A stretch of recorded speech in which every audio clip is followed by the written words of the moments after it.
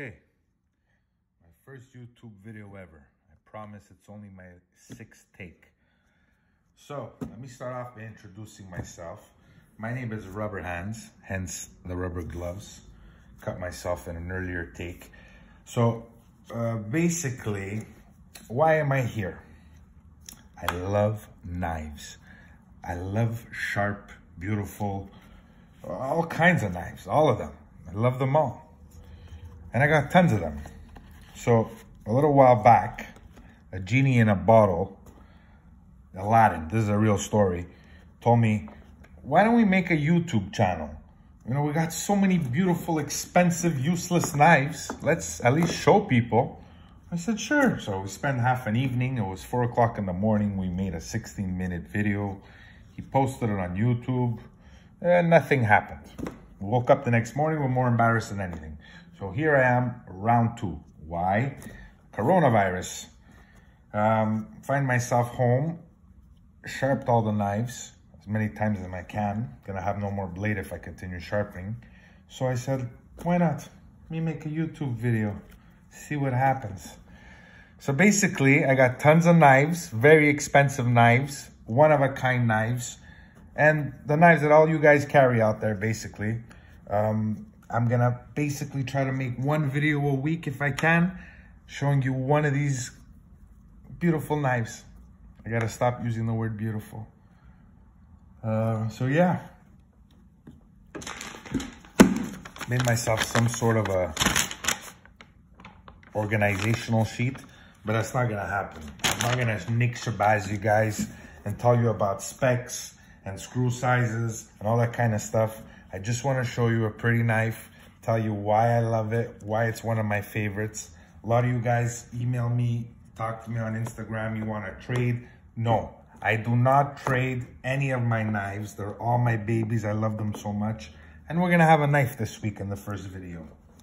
Why do I have this particular knife this week? Basically because it's gone to the top of the list within 16 hours of owning it. For many reasons. Check out that sheet. First of all, located in Canada most of the time. Unfortunately, can't carry crazy automatic long ass blades. We got to stay under three inches.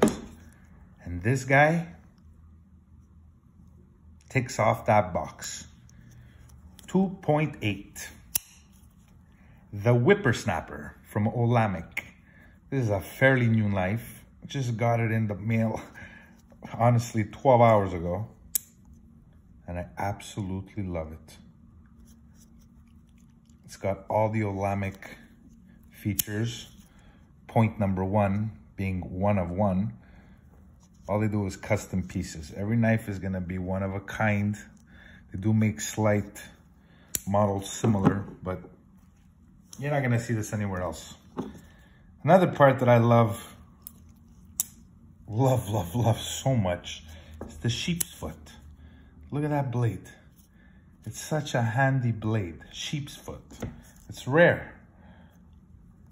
Wharncliffe, sheep's foot, they gotta be my top kind of blade shapes just because it's so practical. Look at this choil, you know? What a knife. So this bad boy has quickly, overnight, become my everyday carry here in Canada. This is just beautiful. It's short, small, compact. It's steel's got CPM 20 CV. Look how thick this is. I mean, pretty thick for a little knife. Must be half an inch. We're gonna call Nick ask him about this half an inch, but I don't know. Whippersnapper. The name says it all. It sounds like a whippersnapper. You guys stare at that for a bit. I got this bad boy off DLT Trading. I love them. They have the best service in the world. And they generally get like these really one-offs. And this is a Gunkote white. I believe, on a base of titanium. So yeah, it is a pricey knife. I believe it was 600 bucks US, something like that. That's like a million Canadian dollars for me since we have monopoly money down here. But yeah, if Canadians want to spend a thousand bucks on a knife, please do. This knife is perfect. Love it.